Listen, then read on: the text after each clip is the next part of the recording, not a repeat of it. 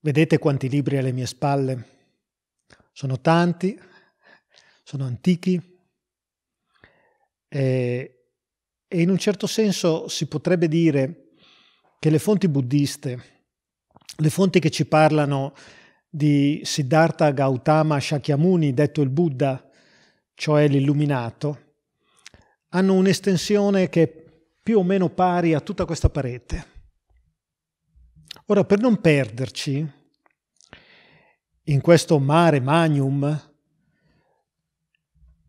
noi dobbiamo porre una domanda, eh, una domanda essenziale che va a cogliere l'aspetto, diciamo così, qualificante della personalità e dell'insegnamento del Buddha.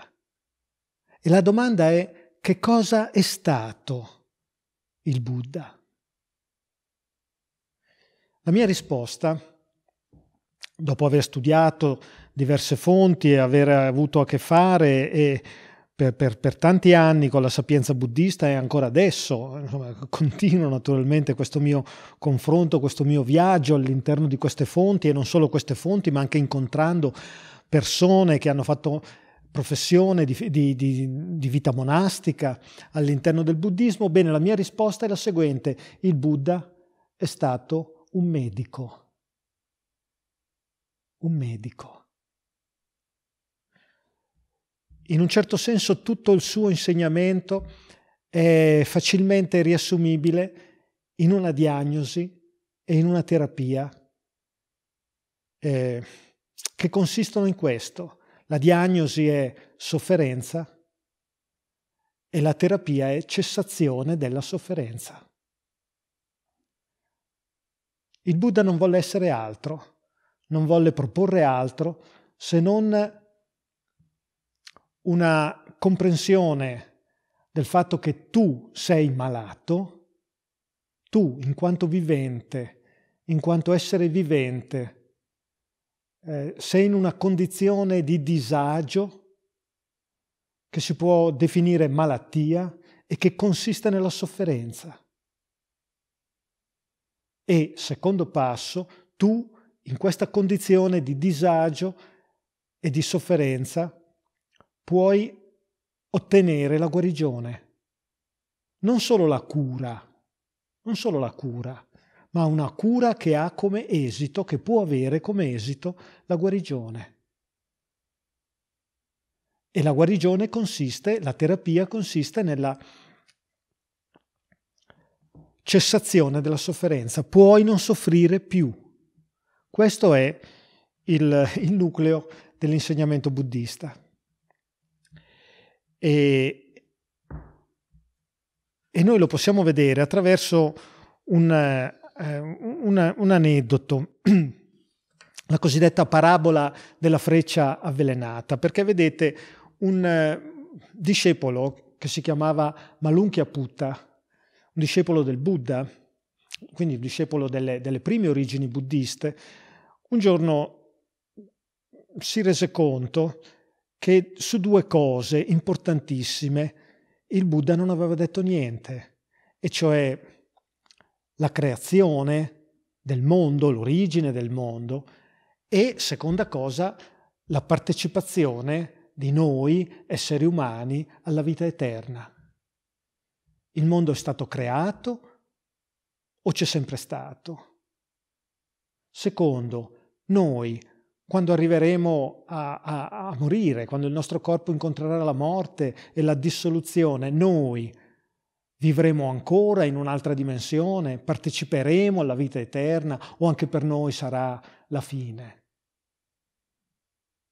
Ecco, questo discepolo di nome Malunkhya Putta si rese conto che il Buddha non aveva detto nulla di queste cose e allora si recò dal Buddha anche un po' come dire, mm, non dico arrabbiato, ma in un certo senso molto determinato a voler avere spiegazioni al riguardo,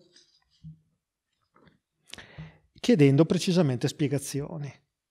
E nella sua, nella, come risposta Malunchia Putta ottenne la parabola della freccia avvelenata. Il Buddha cioè eh, disse così eh, che un uomo era stato colpito da una freccia cosparsa di, di, di un veleno, un veleno molto potente, e gli amici, i parenti, si affrettarono a chiamare un chirurgo per estrargli la freccia, ma l'uomo disse no, io non mi farò togliere la freccia prima di sapere chi mi ha colpito.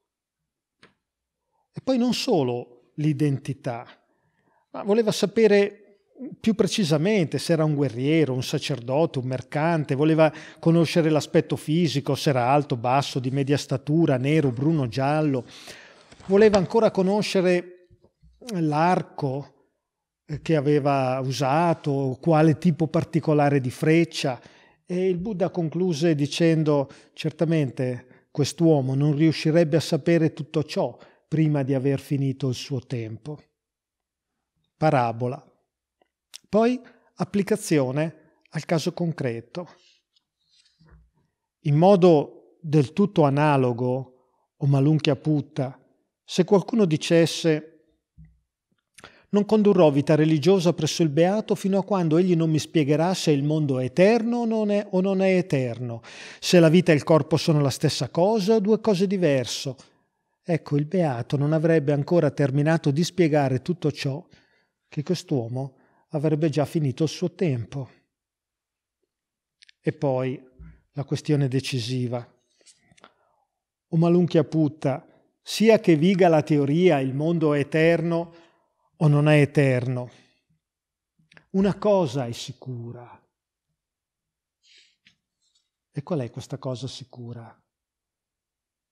Che il Buddha dice al suo discepolo, qual è la cosa sicura? Ecco, eccola qua che vi sono nascita, vecchiaia, morte, pene, lamenti, dolore, disperazione, mancanza di serenità. E di queste cose io, già in questa vita, insegno a realizzare la fine.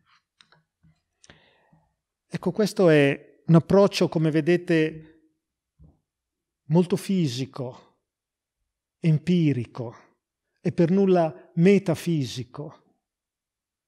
Si tratta di guardare la realtà, o meglio ancora, si tratta di guardare la realtà della vita, la realtà dei viventi, di ogni essere vivente e rendersi conto esattamente eh, che quello che esiste è nascita, vecchiaia, morte, pene, lamenti, dolore, disperazione mancanza di serenità. Questo è l'approccio molto empirico, molto realistico, qualcuno potrà dire pessimista, e lo vedremo dopo, se è pessimista o non è pessimista o semplicemente realista, e dopo lo, lo vedremo. Ma quello che è importante adesso è continuare a, a livello introduttivo la lettura di questo sutra che riguarda Malunchya Putta con le ultime parole che il Buddha gli rivolge. E perché o Malunchya Putta io non ho spiegato tutto questo? Cioè perché, dice il Buddha, io non mi sono occupato di definire come fanno le altre religioni, se il mondo è stato creato da Dio e come è stato creato, in quanti giorni, e se noi abbiamo un'anima o non abbiamo un'anima, e se con quest'anima partecipiamo o no alla vita eterna. Come mai non mi sono preoccupato di queste cose così essenziali per le altre religioni? Quindi il Buddha pone a se stesso una domanda eh, eh decisiva, direi, e la risposta è eccola, perché questo non serve alla salute, non è salutare. Questo non appartiene ai fondamenti della vita religiosa, non conduce al sereno disincanto, al distacco, alla cessazione, alla pace, alla conoscenza, al risveglio, al nirvana.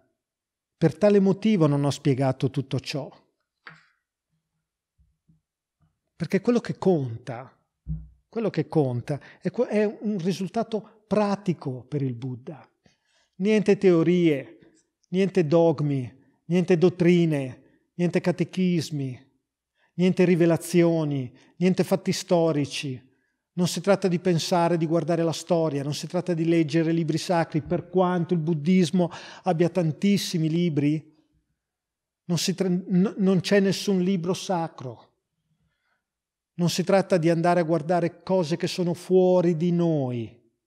Non è questa la via del Buddha, si tratta di guardare dentro di noi. E come guardo dentro di me? Guardando anche dentro gli altri. Perché io conosco me stesso anche conoscendo gli altri. Conosco la mia vita conoscendo la vita degli altri perché tutti quanti siamo strettamente legati, interconnessi gli uni agli altri. E i dolori degli altri sono anche i miei, così come le gioie degli altri sono anche le mie. Quindi il fine è una conoscenza, una conoscenza di tipo pratico, esistenziale, per giungere alla pace. Che cosa invece ho spiegato? Continua. Che cosa invece ho spiegato? Ho spiegato questa è la sofferenza. Questa è l'origine della sofferenza. Questa è la cessazione della sofferenza. Questa è la via che porta alla cessazione della sofferenza. Qui abbiamo la prefigurazione, poi vedre- le vedremo molto meglio, certo, ma già, già fin d'ora qui abbiamo la prefigurazione di quelle che il buddismo chiama le quattro nobili verità. Universalità della sofferenza, causa della sofferenza, possibilità della cessazione della sofferenza e via, sentiero, mediante il quale è possibile giungere a superare la sofferenza. Ecco, qui c'è tutto l'insegnamento, quasi tutto, poi vedremo ci sono anche altre cose, ma insomma il nucleo pulsante è qui. E perché ho spiegato tutto ciò? Continua il Buddha. ma perché salutare, cioè ti dà salute. Salute da intendersi nel duplice senso del termine latino salus, che è sia salute sia salvezza. perché salutare appartiene ai fondamenti della vita religiosa, conduce al sereno disincanto, al distacco, alla cessazione, alla pace, alla conoscenza, al risveglio, al nirvana. Per questo motivo ho spiegato tutto ciò.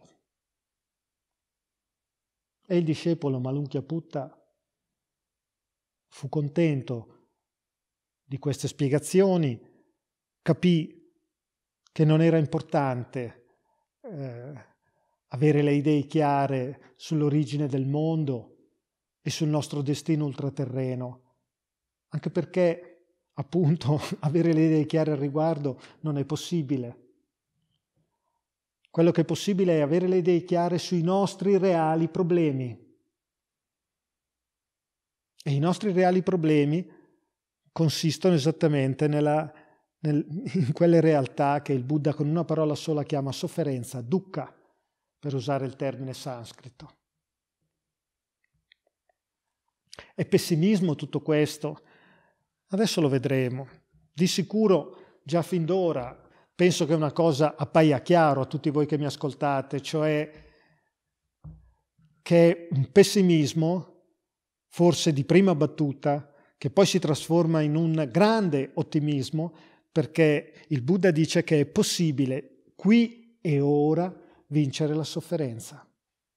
La terza nobile verità, cioè la possibilità della cessazione della sofferenza, secondo me è il cuore pulsante della, del buddismo.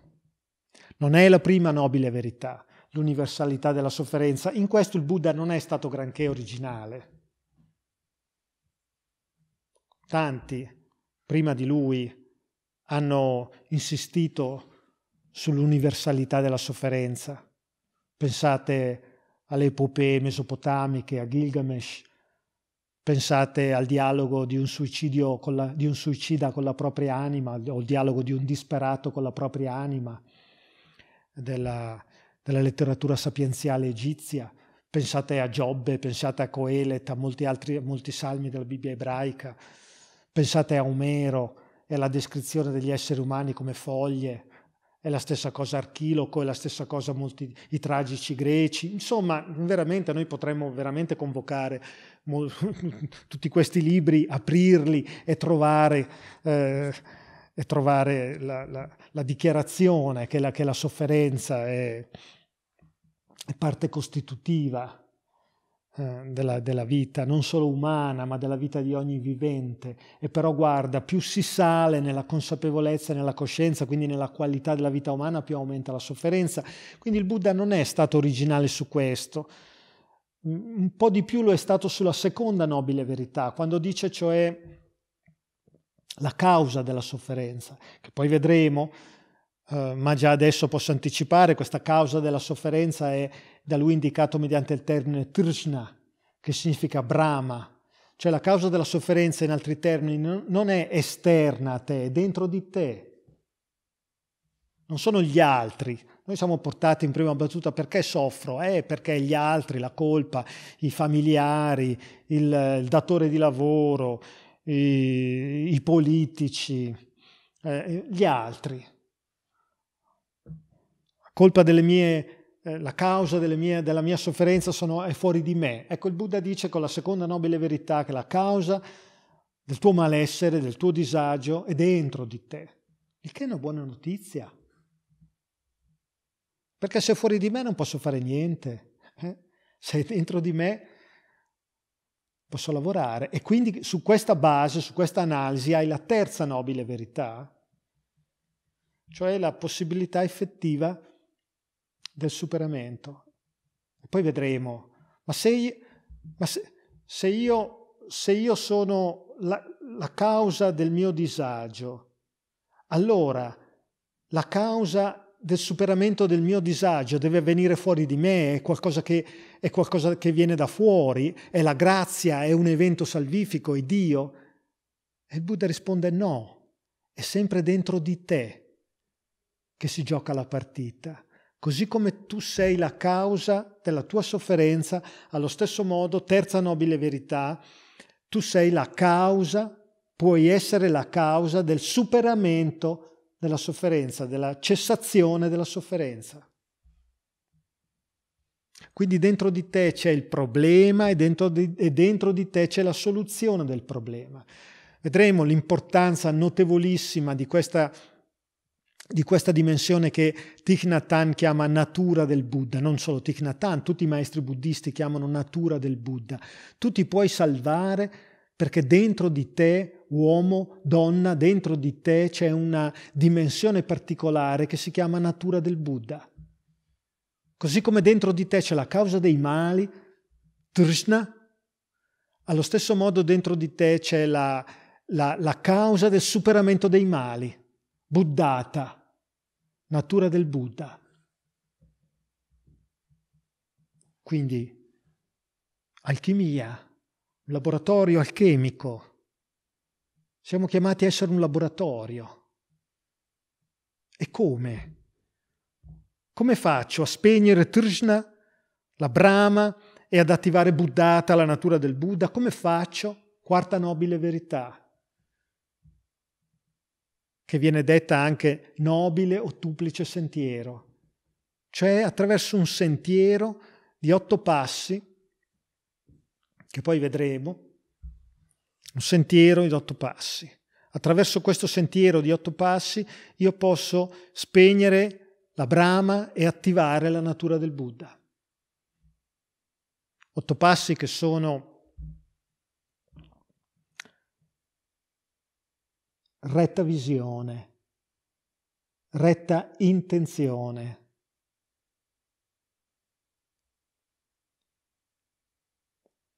E questi due elementi hanno a che fare con la dimensione conoscitiva. Quindi i primi due passi del nobile ottuplice sentiero, la, la visione e l'intenzione, sono di natura conoscitiva. Poi arriva la dimensione etica, degli altri, degli altri passi, che sono il terzo, il quarto e il quinto. Il terzo ha a che fare con la retta parola, azione e sostentamento. Parola, retta parola, retta azione e retto sostentamento. Questa è la, la dimensione etica del nobile o duplice sentiero. E infine gli altri tre passi eh, del nobile o duplice sentiero che hanno a che fare con la dimensione contemplativa. E hai retto sforzo, retta presenza mentale e retta concentrazione. E queste sono, hanno, hanno, a che fare precisamente con la dimensione eh, di trasformazione della mente, come vedremo meglio dopo.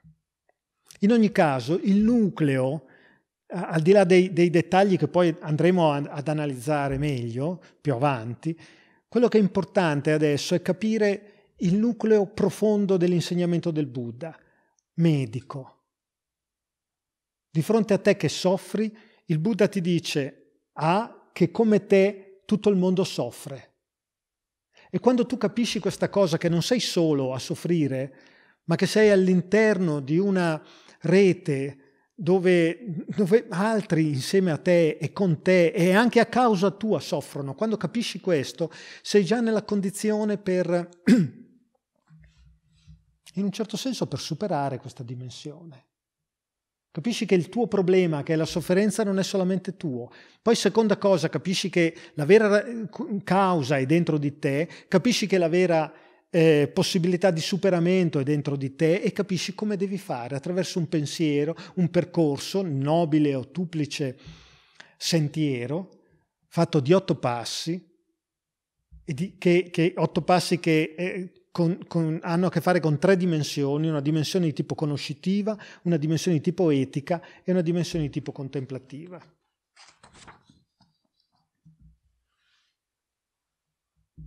Questo, uh, questo, uh, de, questa delineazione delle quattro nobili verità e contiene eh, il, il cuore, l'ho già detto, il cuore dell'insegnamento buddista. L'insegnamento del Buddha prese origine dopo l'illuminazione, eh, che il Buddha ottenne sotto il famoso ficus, cioè un, gran, un grande albero che si trovava a Bodh Gaya. Eh, e chi, voi, chi, di voi adesso va nel nord dell'India, in questa località chiamata appunto Bodh Gaya, può vedere eh, un, gran, un, grandissimo albero attorno al quale i buddisti eh, si, si, raccolgono, qualcuno girando attorno, qualcuno fermandosi in meditazione. E si dice che questo albero che attualmente eh, si può vedere a, a Bodh Gaya eh, abbia preso origine, non sia quello storico del Buddha, ma abbia preso origine da un, come si chiama, un, un un pezzo di, dell'albero, non mi viene il termine, bacello forse, ecco, abbia preso origine da un, da un frammento dell'albero originario che poi a, a, a sua volta ha dato origine a, questa, a questo albero che voi potete trovare. Ma in ogni caso l'illuminazione avvenne a Bodh Gaya. Dopo l'illuminazione ottenuta a Bodh Gaya, il Buddha si recò in una località chiamata Sarnath, poco distante, e lì tenne il primo discorso. Il suo primo discorso è in un certo senso il discorso più importante di tutti i sutra buddisti ed è intitolato Il discorso della messa in moto della ruota del Dharma. E adesso noi dobbiamo capire che cos'è questo Dharma e che cos'è questa ruota. Vedete, Dharma è un concetto centralissimo del buddismo ma anche dell'induismo. Ogni fedele buddista ogni giorno, tre volte al giorno, ripete la triplice presa di rifugio, dicendo prendo rifugio nel Buddha, nel Dharma e nel Sangha. E sono i tre gioielli, il Buddha, il Dharma e il Sangha. Il Buddha è il maestro, il Dharma adesso vedremo Che cos'è? È, è il sangha e la comunità.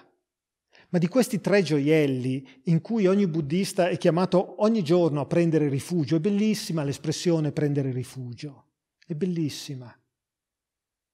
Mi trovo in un mondo insicuro, mi trovo in un mondo esteriore che è insicuro e mi trovo anche in un mondo interiore insicuro. Ma ho la possibilità di avere un rifugio, ho la possibilità di, di non essere in balia dei nemici esteriori ed interiori. C'è un posto dove posso stare sicuro, dove posso stare tranquillo, sereno, dove posso prendere rifugio, appunto, un rifugio come in montagna, come quando vai in montagna e sei e sei lungo un sentiero, però sai, vedi l'indicazione, rifugio, c'è un rifugio. E, che, e di che cosa è fatto questo rifugio? Prendo rifugio nel Buddha, nel Dharma e nel Sangha. Il Buddha è colui che, che testimonia, è il maestro, è colui che, che insegna. E che cosa insegna? Insegna il Dharma. E che cosa scaturisce dal Dharma? Dal Dharma scaturisce il Sangha, cioè la comunità di coloro che hanno preso rifugio nel Buddha e che hanno accolto il Dharma. Quindi in un certo senso il Buddha è colui che annuncia, annuncia il Dharma e lo, ciò che scaturisce dal Dharma è il Sangha. Capite che il Dharma, che è in mezzo, non a caso, è il concetto centrale, appunto, perché il Buddha è finalizzato all'annuncio del Dharma, e il Sangha è ciò che scaturisce dall'annuncio del Dharma. Quindi noi dobbiamo capire che cos'è questo Dharma. Dharma, eh, come si capiscono le cose? E si capiscono le cose, i concetti, capendo i termini. Quando sei di fronte a un concetto, beh, il concetto eh, viene veicolato da una parola, da un termine. E, e il suono di un termine non è casuale, soprattutto quando hai a che fare con concetti così importanti. Non, le parole non nascono, soprattutto queste parole importantissime, centrali, che veicolano insegnamenti profondi, non nascono a caso. Quindi eh, andare a indagare l'etimologia, la radice di una parola, significa capire profondamente il concetto, è chiaro. Ebbene, Dharma viene da una radice indoeuropea, eh, dhrm, che significa qualcosa di stabile, qualcosa di fermo. Tant'è che la variante latina è firm, drm, firm, e c'è anche la variante slava, drž, drž, che significa tenere, držati, tenere. È uguale. E questa cioè, la, la, trovate appunto nel sanscrito, drm, la trovate nelle lingue slave, držati, e la trovate in latino, nelle lingue che hanno a che fare col latino, firm. Noi in italiano, per esempio, diciamo firma o anche firmamento. Che cos'è la firma? La firma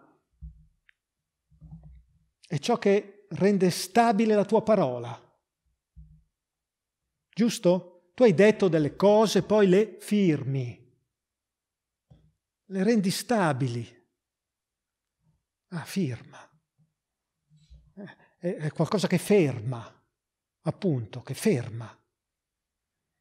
Cioè si muove, si muove, eh, questo ti ferma questa parola, io firmo, firmo.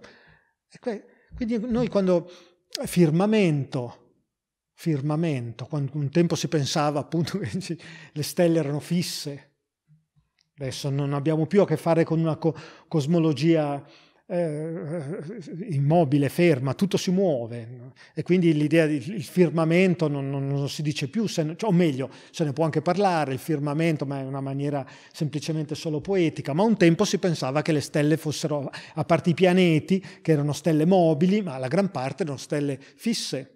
Firmamento, appunto. Eh, quindi Dharma è un punto fermo, è un punto fermo che mette ordine al, nel mondo. questo mondo si muove, faccio fatica a capire qual è il suo senso, non lo so cos'è, do, do, come faccio a capire bene. Guarda, il senso di questo mondo è il Dharma, è la logica, è la logica cosmica profonda che innerva le cose. Dharma significa anche legge. Come faccio a sapere cosa è giusto, cosa è sbagliato, che cosa succede, come mi devo comportare? C'è una legge. E infatti Dharma significa ordine cosmico e significa anche legge. E poi il vero, il falso, come faccio a sapere le idee? Quali... Dharma significa anche dottrina. Quindi Dharma è il punto fermo a livello di cosmologia, a livello di eh, conoscenza e a livello giuridico è ordine cosmico, è dottrina ed è legge. Questo è il Dharma.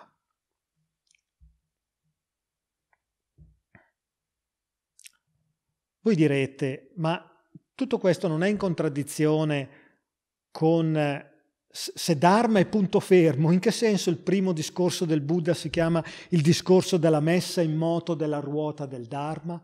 E la ruota gira, in che senso il Dharma ha a che fare con qualcosa che stabilizza? E non è in palese contraddizione? Sì, è così. C'è questa contraddizione tra il titolo del primo discorso, discorso della messa in moto della ruota del Dharma, e il concetto stesso di Dharma.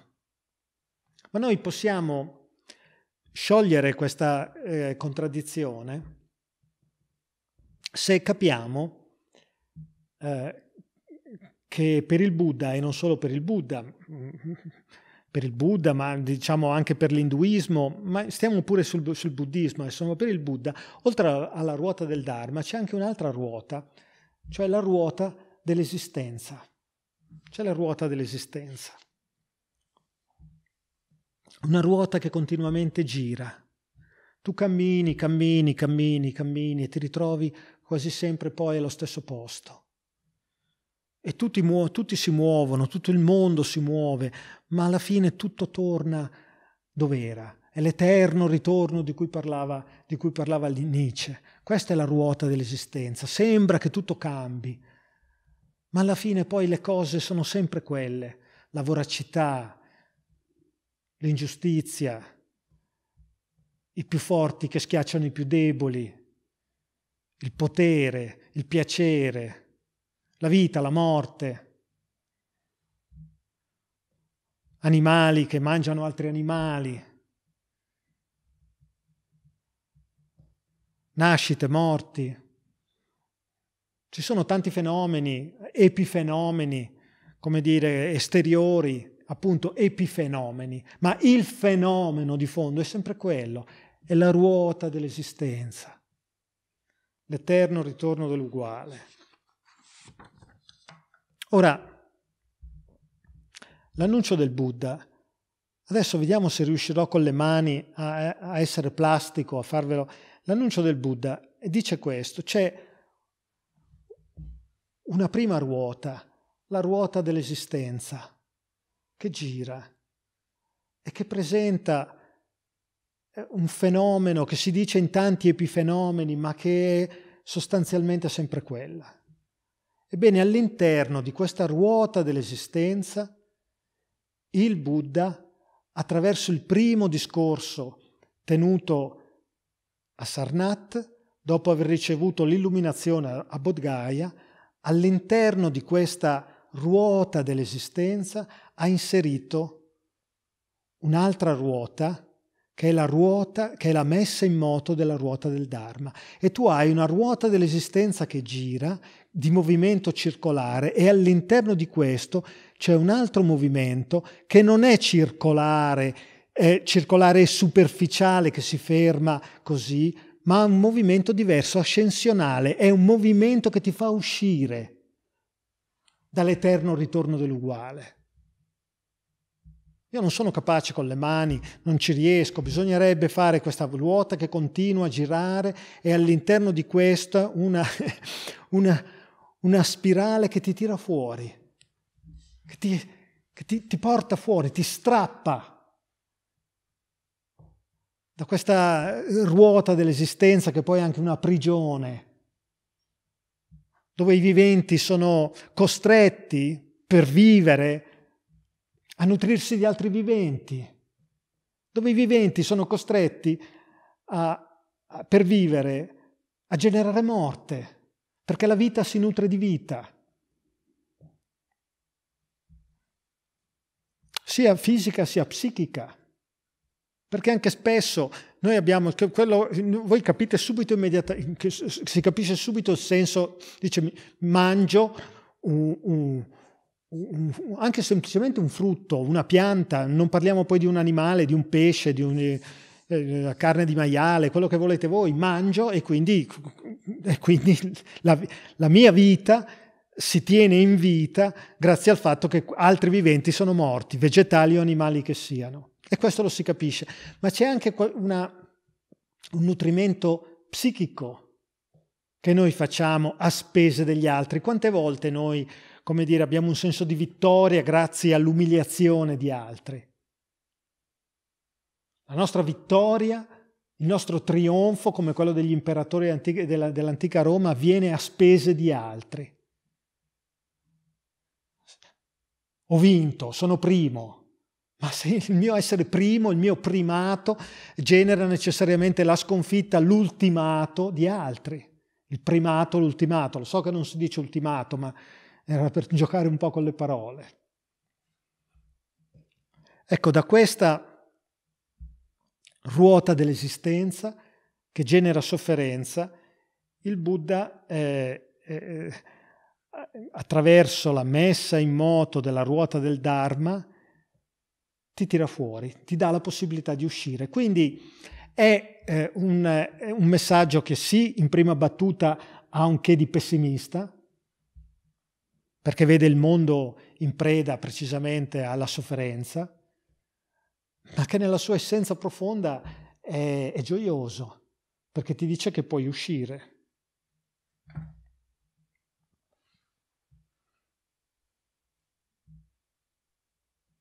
Ora noi abbiamo già visto le quattro nobili verità, eh, ho già enunciato il nobile ottuplice sentiero e ho parlato della teoria del Dharma, di che cos'è il Dharma, del concetto di Dharma.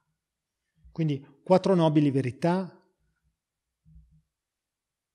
universalità della sofferenza, causa della sofferenza, ehm, possibilità di cessazione della sofferenza e via concreta mediante cui la sofferenza si può eh, superare, che è il nobile ottuplice sentiero. Nobile ottuplice sentiero che abbiamo visto essere composto di tre di, di, otto passi, naturalmente, i quali si classificano secondo tre categorie centrali, cioè, cioè sono passi di tipo conoscitivo, passi di tipo etico e passi di tipo contemplativo. E quindi retta visione, retta intenzione, retta parola, retta azione, retto sforzo, no scusate, retto sostentamento, poi retto sforzo, retta concentrazione, retta contemplazione. Poi abbiamo visto cos'è il Dharma, e il Dharma è precisamente l'insieme di queste cose. È l'insieme di queste cose. Il fatto che in un mondo dove tutto si muove, dove non c'è niente di stabile, dove non c'è niente di pacificante, dove non c'è niente di eh, che è veramente profondamente casa tua, dove non c'è nessun rifugio, in questo mondo è possibile prendere rifugio e puoi prendere rifugio esattamente nel Dharma. E adesso l'ultimo concetto decisivo della dottrina del Buddha è la teoria del karma. E se, e se voi avete, se io sono riuscito a spiegare le quattro nobili verità, eh, l'ottuplice sentiero, il Dharma e adesso il karma, voi avete il buddismo. Questa è mm, filosoficamente parlando, la filosofia del Buddha. Che cos'è la teoria del karma? Karma vuol dire azione. Tra l'altro la eh, radice del termine karma, kr, krm, ha a che fare con crescita, sentite le parole, creare, cre- la stessa radice, creare, crescita, anche cereali viene da qua, la dea cerere, da cui cereali, ecco, la, la radice è questo, ciò che cresce. Cresce e si cresce in base a un'azione. Ma che cosa dice questa teoria dell'azione? Io non lo so, voi che adesso sentite queste mie, mie parole, che, che, che, giudizio darete, che, che emozione si svilupperà dentro di voi eh, alla luce della teoria del karma, sentendo la teoria del karma. A me piace moltissimo, perché sostanzialmente dice che nulla va perduto. È la teoria dell'azione. Ogni azione, ogni azione viene registrata. C'è una specie di grande memoria del mondo nella quale nulla si perde, tutto viene registrato.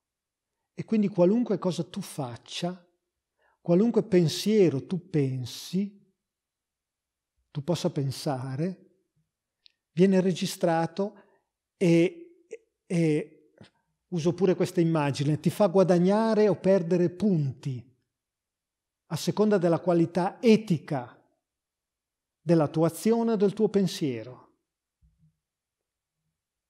Secondo la teoria induista, la teoria del karma ha soprattutto a che fare con l'azione e soprattutto a che fare con l'azione rituale. La grande rivoluzione del Buddha è consistita nel far passare, far transitare la teoria del, del karma dalla azione alla intenzione. Cioè ciò che ti fa guadagnare o perdere punti, prima ancora che le tue azioni esteriori, è la tua intenzione interiore. Ancora una volta tutto si gioca dentro di te. Dentro di te c'è la causa, Trishna, della sofferenza. Dentro di te c'è la natura del Buddha grazie al quale puoi vincere questa cosa, questa, questa, questo disagio, questa, questa brama. E sempre dentro di te c'è la, l'azione non esteriore ma interiore che si chiama intenzione, grazie al quale si mette in atto la teoria del karma. Abbiamo a che fare, in altri termini, con una visione etica e logica dell'universo. Quindi chi dice, chi pensa che il buddismo sia pessimista, eh, non dice il vero, secondo me. Perché la teoria del karma è una teoria estremamente ottimista del mondo non siamo in balia del caso, non siamo in balia del nulla. Esiste una legge eh, etica profonda che è il Dharma ed es- e sulla base del Dharma esiste una, un meccanismo, diciamo così, un meccanismo che è la teoria del karma. Il Dharma costituisce lo sfondo e la teoria del karma costituisce la, il, il meccanismo mediante il quale tu acquisti o guadagni rispetto a questo sfondo.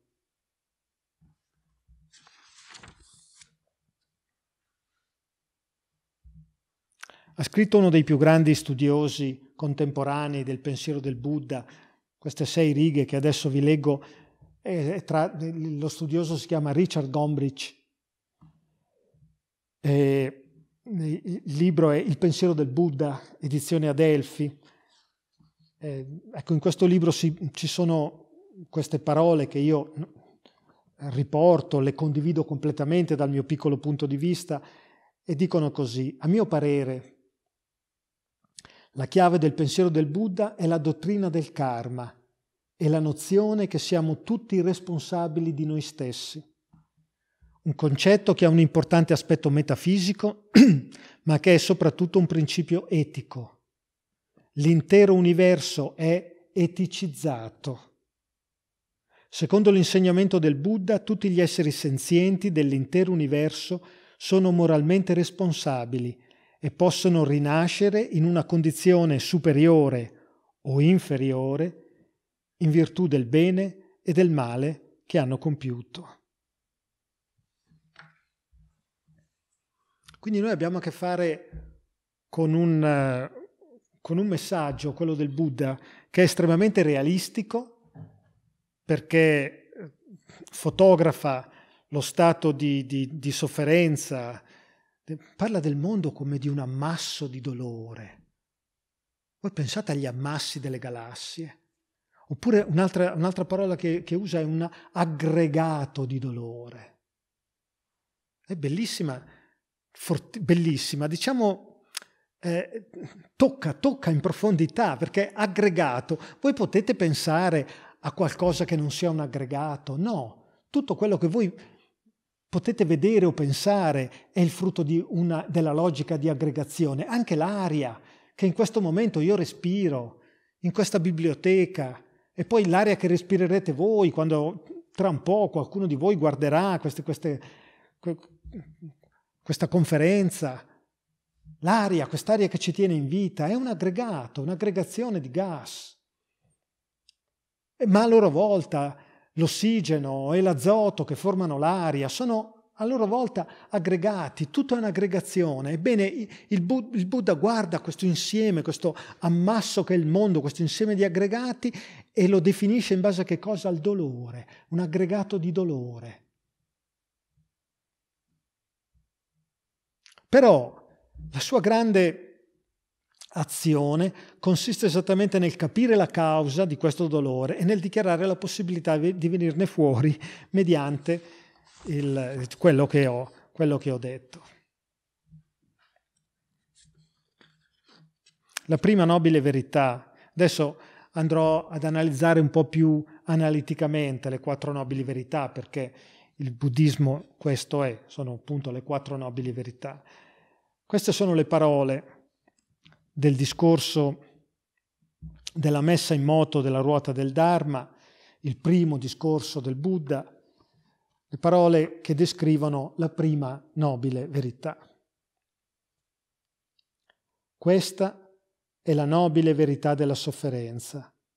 La nascita è sofferenza, la vecchiaia è sofferenza, la malattia è sofferenza, la morte è sofferenza, l'unione con ciò che non è caro è sofferenza, la separazione da ciò che è caro è sofferenza, il non ottenere ciò che si desidera è sofferenza. Ecco, vedete, io non lo so se voi siete d'accordo o no con questa visione. Chi è d'accordo con questa visione,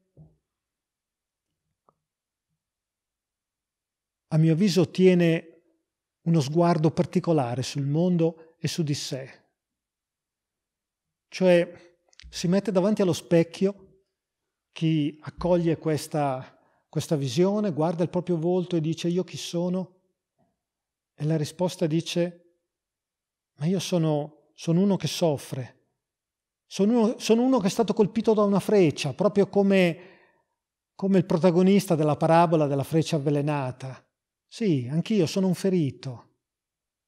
E chi è lui? Anche lui è un ferito. E lei, chi è lei? Anche lei è ferita.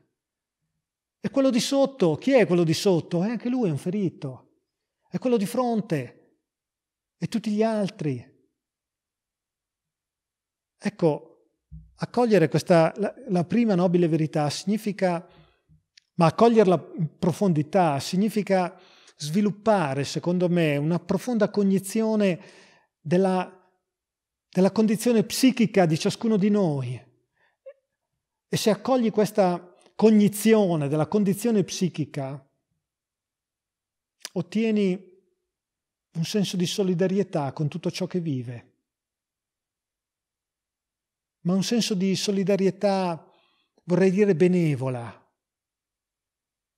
Perché capendo questa cosa capisci che anche il male, il, la stupidità, l'ignoranza, le male parole, tante persone attorno a te, tutto questo proviene dal fatto che tutti soffrono, che tutti stanno combattendo una dura battaglia, che tutti hanno a che fare con quella freccia. Anzi, poi il Buddha, tra l'altro, dice che qualcuno, oltre ad avere una freccia che è data dalla condizione fisica, ne può avere un'altra, che è data ad avere tutta una serie di idee sbagliate. Per esempio quello di pensare che questa sofferenza sia colpa tua e quindi complessi di colpa. E quindi io soffro, certo soffro, ma perché soffro? È perché sono colpevole. E invece no, qui attenzione alla distinzione decisiva tra colpa e causa, non c'è nessun colpevole. Non c'è nessun peccato originale. Non c'è nessuna colpa da scontare, non c'è nessuna espiazione, c'è una condizione che è data così. Il Buddha non lo sa come mai si soffre, sa che si soffre, e sa che la maniera migliore per non soffrire è esattamente quella di capire anzitutto che stiamo soffrendo, che non siamo colpevoli, siamo sofferenti, è un'altra cosa. È un'altra cosa. Uno dei brani più eh, decisivi al riguardo è quello del discorso del fuoco. Il discorso del fuoco. Sentite queste sei queste sei righe. Lui si rivolge ai suoi discepoli, li chiama monaci. Ma potete anche pensare che dice uomini, che dice fratelli, sorelle, va bene, ma insomma, o monaci, tutto brucia. E che cosa brucia, monaci? La vista brucia, il contatto visivo brucia, e qualsiasi sensazione sorga in dipendenza, in dipendenza dal contatto dell'occhio con i suoi oggetti, sia essa percepita come piacevole, spiacevole o neutra, anche questo brucia. Mediante cosa brucia? Brucia mediante il fuoco dell'attaccamento, il fuoco dell'avversione, il fuoco della confusione. Brucia, vi dico, a causa della nascita, della vecchiezza e della morte, della pena, del lamento, del disagio, dell'angoscia o dello scoramento. Tutto brucia. Un grande incendio, il mondo, la vita come un grande incendio. Insomma, noi però dobbiamo affrontare anche la questione troppo pessimismo, il mondo è così, il mondo è solo sofferenza. Ecco, vedete, se qualcuno di voi pensa che eh, questa prospettiva sia troppo pessimista, perché dice che c'è eh, non solo sofferenza, ma che c'è solo sofferenza, che se qualcuno pensa che insomma è esagerata questa visione, beh, deve sapere che si ritrova d'accordo con uno dei più grandi maestri buddisti del nostro tempo, che è il monaco vietnamita Thich Nhat Hanh, uno dei maestri spirituali che io amo di più. grande maestro spirituale, grande poeta, eh, il quale in un suo libro dedicato precisamente alle quattro nobili verità scrive così. Il Buddha vedeva che la vecchiaia racchiudeva sofferenza, ma io sono vecchio e felice. Ho scoperto che la tarda età è qualcosa di davvero delizioso. La malattia è sofferenza, certo, ma la, ma la malattia può rafforzare il tuo sistema immunitario. Poi nemmeno la morte è esattamente solo sofferenza. Fa parte anch'essa della vita, non è il nemico. Sappiamo che molte cellule del nostro corpo stanno morendo in ogni istante, così che possano nascerne di nuove. Quindi la morte avviene di continuo è qualcosa di naturale. Inoltre, se osserviamo a fondo, vediamo che non stiamo davvero morendo, perché continueremo a vivere con forme diverse. Thich interpreta, a mio avviso molto giustamente, la prima nobile verità dicendo che non tutto è sofferenza, cioè mm, riconducendo la constatazione della sofferenza a una visione processuale, che è la vera visione del Buddha, una visione processuale delle cose. Proprio perché c'è la sofferenza, c'è anche la possibilità della gioia e proprio perché c'è la possibilità della gioia, c'è la possibilità della sofferenza. Se tu non avessi sofferenza, non potresti avere la cessazione della sofferenza e la gioia consiste nella cessazione della sofferenza. E se tu non avessi gioia, tu non potresti avere la cessazione della gioia. E la sofferenza consiste nella cessazione della gioia.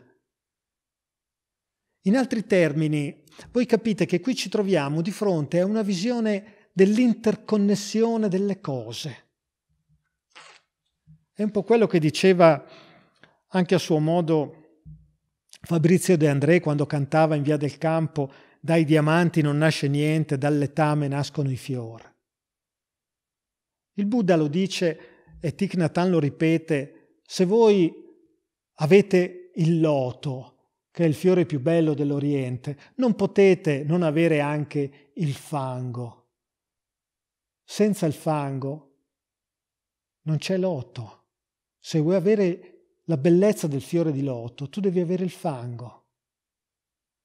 Quindi la prima nobile verità non è una, una verità che ultimamente si chiude in maniera monistica sulla sofferenza, ma è qualcosa che ti apre a una visione processuale dell'essere, all'interconnessione di tutte le cose.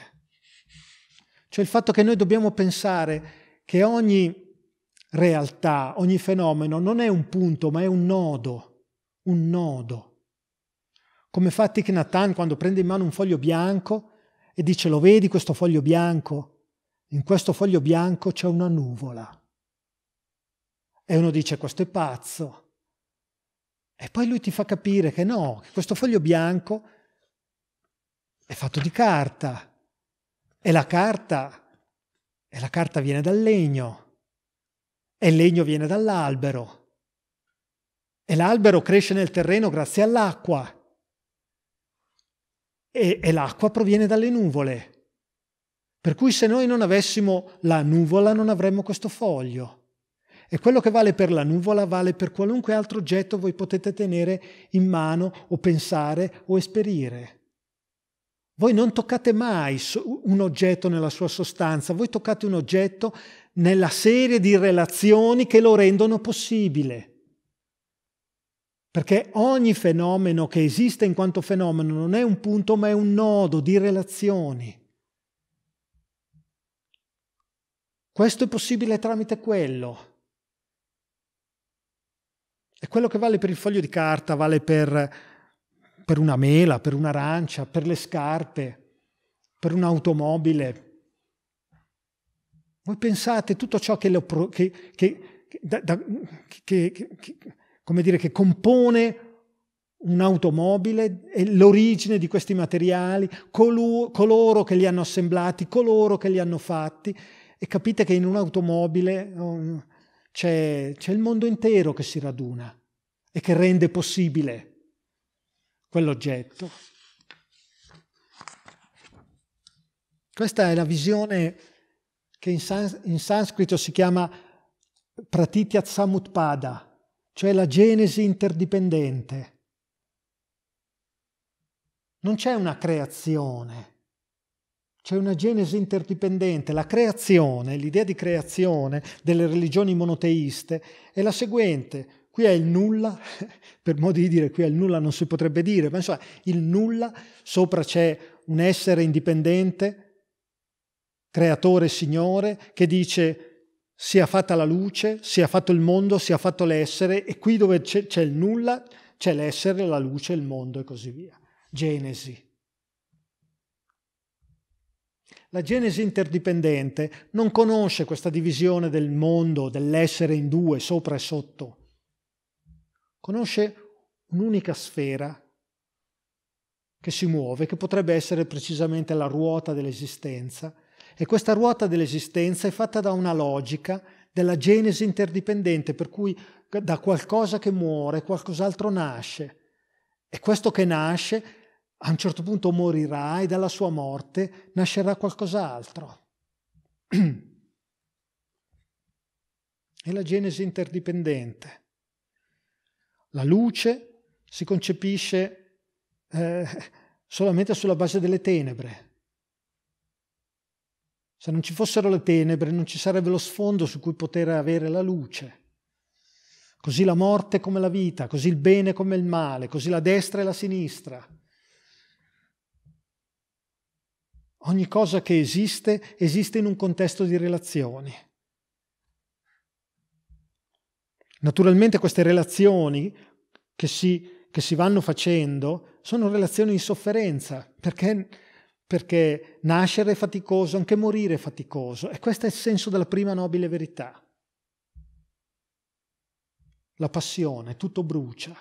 È la passione, la passione dell'essere, passione intesa, proprio come la passione di Cristo, oppure nel senso metaforico, la passione del popolo siriano. Sì, noi potremmo dire la passione dell'essere, la passione del farsi delle cose, del farsi e del disfarsi. Poi va bene, sulla seconda nobile verità, noi per non trascinare troppo, se no diventa troppo lungo, qui possiamo anche fare saltarla ed è precisamente come la brama, il desiderio, ma anche qui entra comunque in gioco la dialettica. Dico semplicemente che la brama e il desiderio eh, possono essere visti come qualcosa di estremamente negativo, ma al contempo come qualcosa di positivo.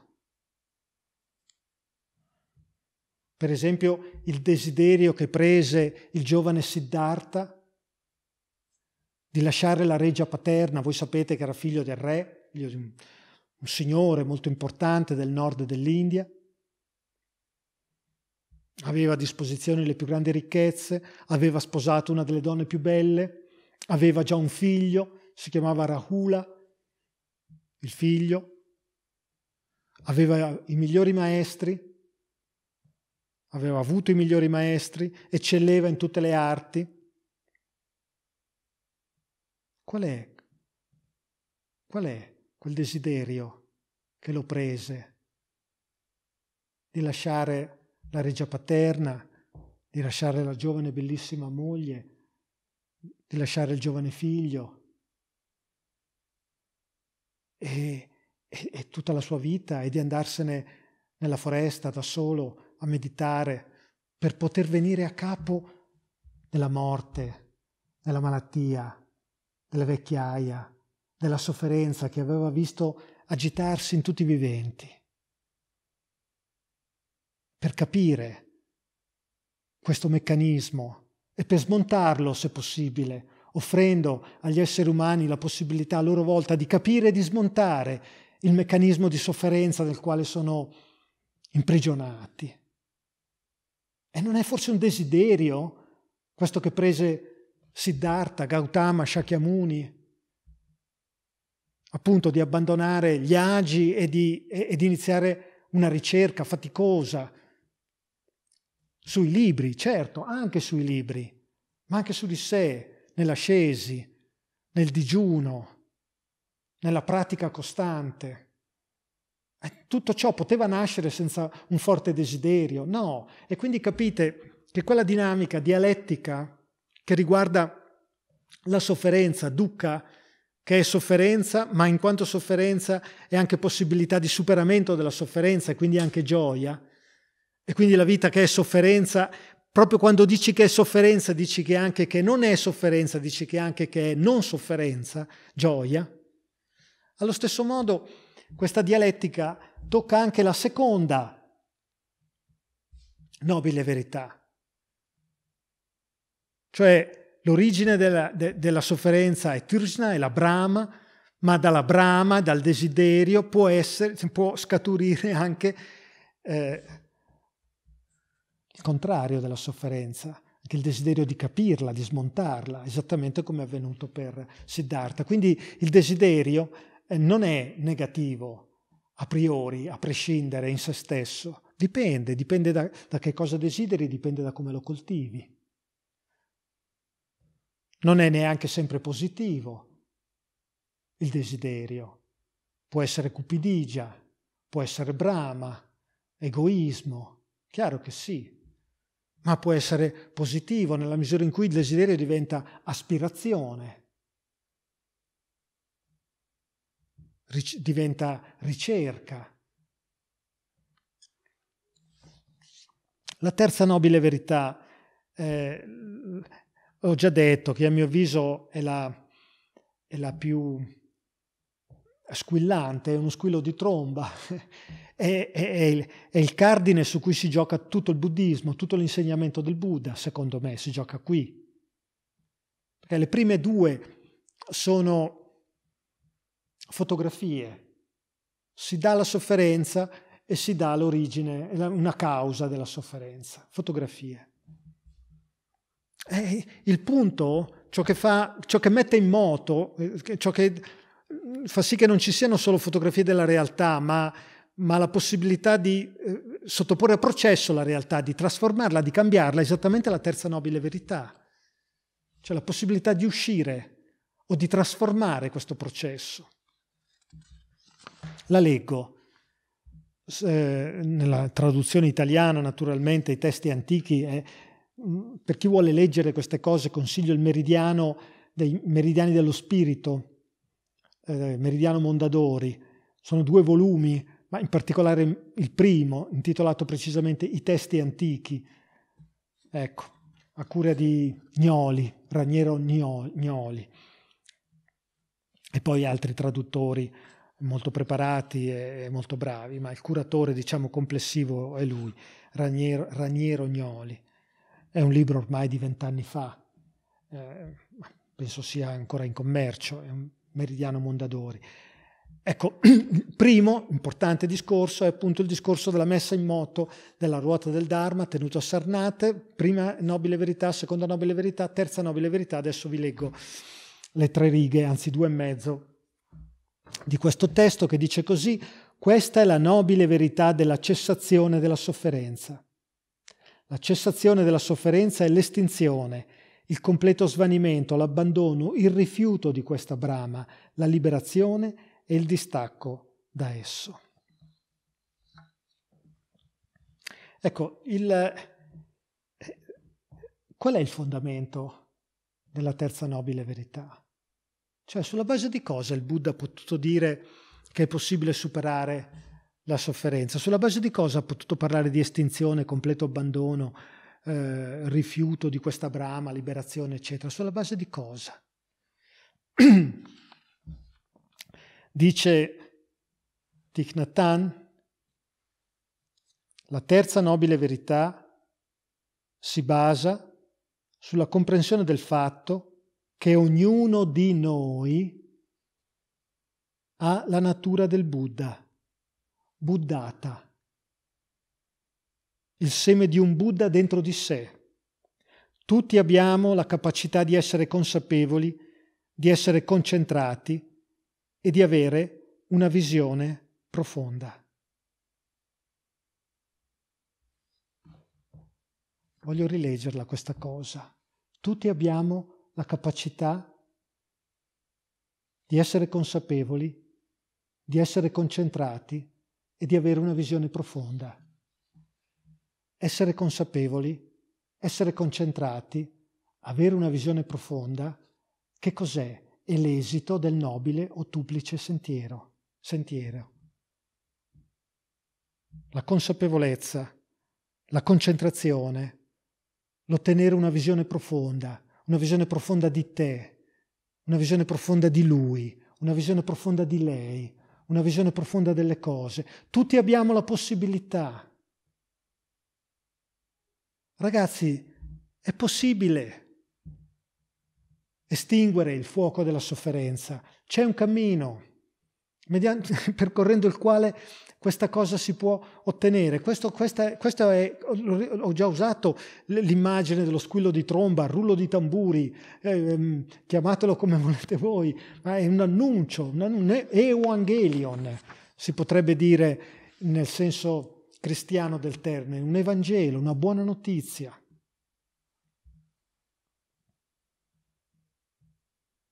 Certo, noi adesso dovremmo capire che cos'è questa natura del Buddha.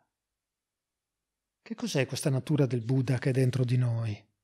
Socrate ne parlava in termini di anima, psiche, ma il buddismo, il Buddha nega l'esistenza dell'Atman, dell'anima, dell'anima sostanziale, di un'anima che esiste indipendentemente dalla, dal corpo, che proviene da fuori da, rispetto al corpo e che poi se ne andrà. Ecco, questa cosa il Buddha la nega. Non parla di Atman, parla di An-Atman, non anima. E tuttavia parla della natura del Buddha.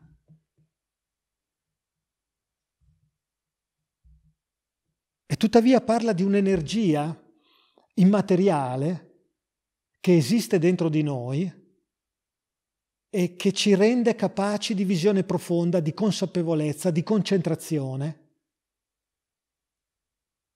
Quindi, al di là delle etichette, anima, non anima, così, quello che è importante, quello che è importante davvero, al di là della maniera con cui noi qualifichiamo i fenomeni, è capire l'operazione stessa, cioè capire quello che avviene, il fenomeno nella sua valenza operativa, questo è importante. Poi lo puoi chiamare anima, non anima, natura del Buddha, psiche, lo puoi chiamare nous, come gli antichi greci dicevano, eh, parlando, eh, nous, come lo traduci nous? Lo puoi tradurre intelletto, lo puoi tradurre intelligenza, lo puoi tradurre spirito, spirito creativo, Quello che è importante è capire che noi abbiamo la possibilità di salire sopra noi stessi e di vederci come dall'alto. Quello che è importante è capire che noi abbiamo la possibilità di, di, di avere una visione profonda anche di noi.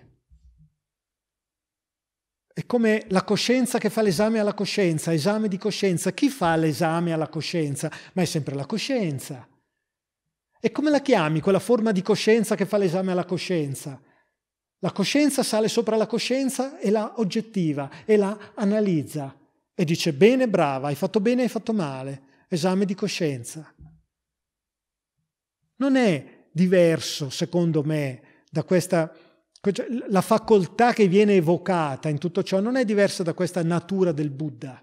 Anzi, secondo me è esattamente quella. Poi lo puoi chiamare in un modo, lo puoi chiamare in un altro. Ma secondo me questa natura del Buddha è ciò che noi in Occidente eh, definiamo mediante il concetto di spirito. E lo spirito è diverso dall'anima. L'anima è l'anima psichica, il carattere, il temperamento, la dimensione conscia, meno inconscia, le paure, le fobie. Lo spirito è la capacità che noi abbiamo di salire anche sopra di noi se lavoriamo, nulla avviene gratis, tantomeno in questo, in questo ambito, e, e di capirci, e capendoci di sanarci, di risanarci, e di, di giungere appunto alla, alla, alla natura del Buddha. La natura del Buddha dentro di noi rimanda a una visione dell'essere che è ben diversa dal materialismo, da, chi, da, da, da quella visione che pensa che eh, eh, l'ultima verità del, dell'essere sia la materia.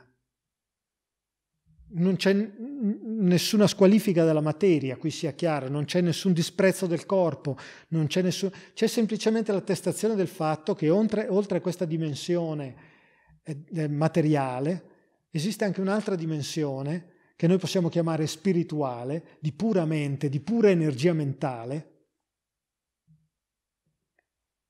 che è la più grande ricchezza, perché è attraverso di essa che noi possiamo giungere alla liberazione. È attraverso di essa che noi possiamo attivare il nobile ottuplice sentiero. Anzi, il nobile ottuplice sentiero si realizza precisamente come consapevolezza come visione profonda, come trasformazione del nus, come trasformazione della mente. come sapienza. E tutto questo rimanda a una visione del mondo in base alla quale non esiste solamente la dimensione appunto materiale, ma esiste un'altra dimensione altrettanto importante, forse ancora di più, alla quale il Buddha faceva riferimento con queste parole che, oggi, che adesso vi leggo,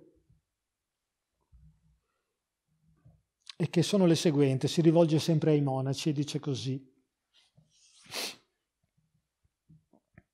Esiste, o monaci, un non nato, un non divenuto, un non creato, un non formato. Sto parlando dell'Eterno. Esiste, o monaci, un non nato, un non divenuto, un non creato, un non formato. Se non esistesse questo non nato, non divenuto, non creato, non formato, non si potrebbe conoscere alcuna via di salvezza da ciò che è nato, divenuto, creato, formato. Saremmo sempre, dico io parentesi, saremmo sempre nella ruota dell'eterno ritorno dell'uguale di ciò che è nato, creato, formato. Riprendo. Ma, o monaci, poiché esiste un non nato, un non divenuto, un non creato, un non formato, si può conoscere una via di salvezza da ciò che è nato, divenuto, creato, formato. Ecco, qui siamo in presenza dell'attestazione di un piano dell'essere la cui consistenza ontologica è del tutto diversa dall'essere ordinario. Ed è ciò che il Buddha chiamava nirvana. Nirvana. La la meta è una condizione di non nascita, di non divenire, di non creazione, di non formazione. Notate la dimensione negativa. Il Buddha non dice paradiso. Lo stesso termine nirvana vuol dire estinzione. Vuol dire non, non scintilla nel senso di scintilla vitale, estinzione. Ma non è l'estinzione nichilistica, il nulla, è l'estinzione della forma dell'essere che noi possiamo esperire qui e ora, dell'unica forma dell'essere che possiamo esperire qui e ora, l'essere che è nato, divenuto, creato, formato. Ma questo essere che è nato, divenuto, creato e formato, che costituisce la via dell'esistenza, la ruota dell'esistenza, scusate, non via, la ruota dell'esistenza. Da questo essere noi possiamo uscire, grazie a che cosa? Grazie al fatto che dentro di noi esiste buddhata, lo chiamava, un seme del, della natura del Buddha, la quale rimanda a una dimensione di non nato, non creato, non divenuto, non formato. Non puoi pensare al paradiso eh, pensando che poi berrai vino nuovo o che avrai un corpo di carne o addirittura che avrai delle vergini eh, eh, a tua disposizione come maschio musulmano, eccetera, eccetera. Tutte queste sono dimensioni create, formate, divenute. Sono immagini umane, troppo umane, maschili, troppo maschili, che non dicono quello che è la vera sostanza, come chiamarla, la vera profondità di quel mistero a cui ci rifacciamo dicendo eternità. L'eternità è il non tempo, e il non tempo è il non luogo, perché tempo e spazio, oggi lo sappiamo, la fisica ce lo insegna, sono la stessa dimensione. Il tempo e lo spazio, lo spazio-tempo. A partire dalla teoria della relatività di, di Albert Einstein, noi sappiamo che il tempo e lo spazio non sono degli assoluti, ma sono dei relativi, teoria della relatività, che, che nella loro essenza profonda sono unificate, lo spazio-tempo. E quindi quando tu dici superamento del tempo, dici anche superamento dello spazio. Ma capite la profondità di questa, di questa visione che ti dice appunto un non nato, non divenuto, non formato, non creato. È l'unica modalità di pensare la salvezza, mediante negazione. Mediante negazione. Dico, dici che c'è la salvezza, ma non dici che cos'è, la intuisci. l'annunci, la intuisci, ma non hai la possibilità di dire, di dire che cos'è. Questo a mio avviso è di grande importanza anche per noi occidentali. Puoi essere o non puoi essere buddista. Io personalmente non lo sono, per quanto abbia un grandissimo amore per, per questa visione delle cose, ma puoi esserlo o non esserlo. Ma secondo me non c'è oggi insegnamento più profondo, più puro, per quanto attiene all'eternità, alla, vita, alla cosiddetta vita eterna o alla salvezza, che non queste parole che, del Buddha che vi, appena, che vi ho appena letto.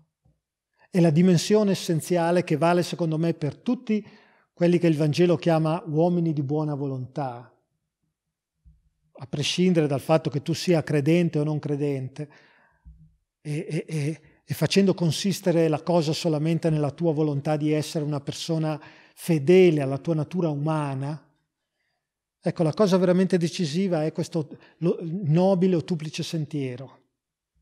Secondo me non c'è oggi coscienza che non possa e non debba risuonare positivamente di fronte al nobile o duplice sentiero. Retta visione. Andiamo pure in ordine. La prima, retta visione. Cosa si tratta di fare? Di disporre lo sguardo in modo retto.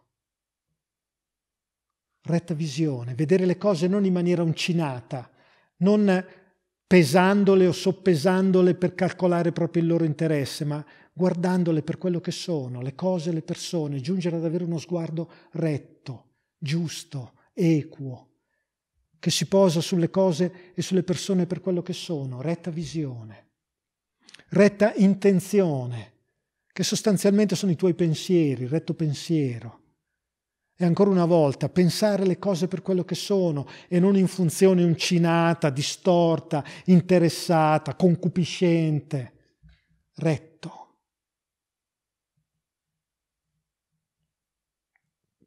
Retta parola, rettificare i termini, dice Confucio, retta parola avere una parola che sia tale da far coincidere il suono nomen alla res che tu vai a, a, a designare.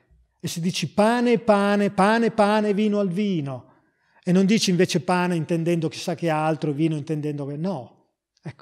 Anche il proverbio ci aiuta, retta parola, retta azione, la stessa cosa, il tuo agire che sia retta. La retta sussistenza, cosa vuol dire? La retta sussistenza è il lavoro.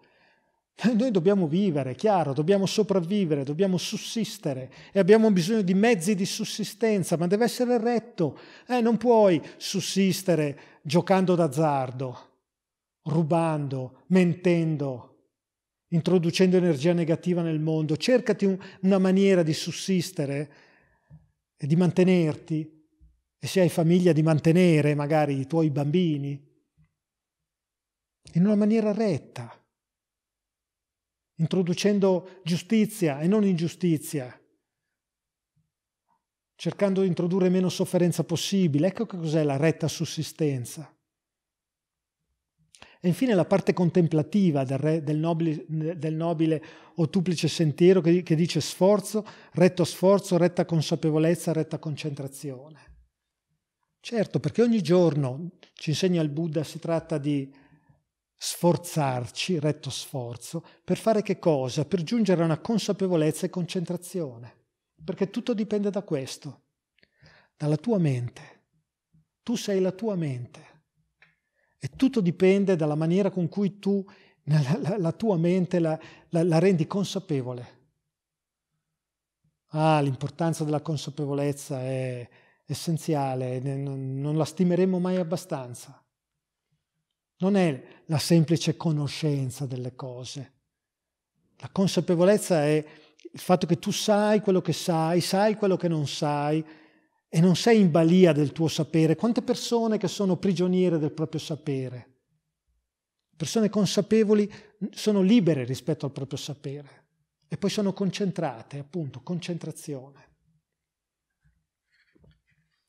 Concludo ricordando le ultime parole che il Buddha ottantenne, poco prima di morire, disse a uno dei suoi discepoli più cari, un suo cugino, che si chiamava Ananda, che si era fatto monaco anche lui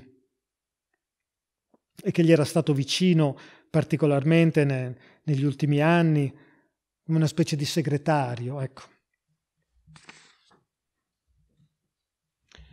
In un sutra che si chiama Il grande discorso del nirvana definitivo, il Buddha dice queste, dice ad Ananda, queste che sono presentate dalla tradizione come le ultime parole. Io, Ananda, sono ormai debole, vecchio, ho una veneranda età. La mia vita è stata lunga, sono trascorsi 80 anni. Così come un vecchio carro è tenuto insieme con l'aiuto di cinghie, allo stesso modo il mio corpo è sostenuto da bende e fasciature. Perciò, Ananda, siate un'isola per voi stessi. Prendete rifugio in voi stessi e non in altro. Che la vostra isola sia il Dharma, che il vostro rifugio sia il Dharma e non altro. Così, Ananda, un monaco è isola per se stesso, prende rifugio in se stesso e non in altro. Così egli fa sì che la sua isola sia il Dharma, che il suo rifugio sia il Dharma e non altro. Voi avrete notato da queste bellissime parole questa coincidenza di isola e di Dharma.